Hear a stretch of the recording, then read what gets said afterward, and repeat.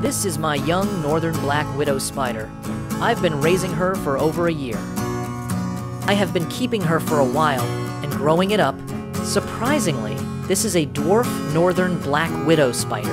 As a juvenile, I fed it. Common house spiders, grasshoppers, they inject powerful venom into their prey, liquefying their insides, drinking their prey dry.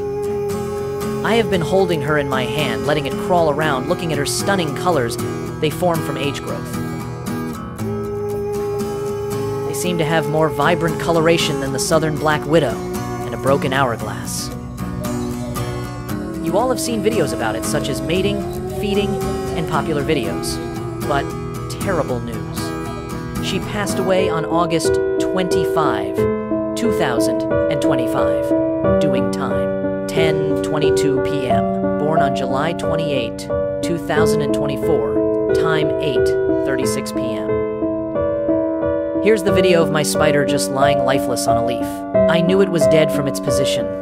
The skin was soft, the legs were limp. You can see it's not hard and curved like it should be because of its age.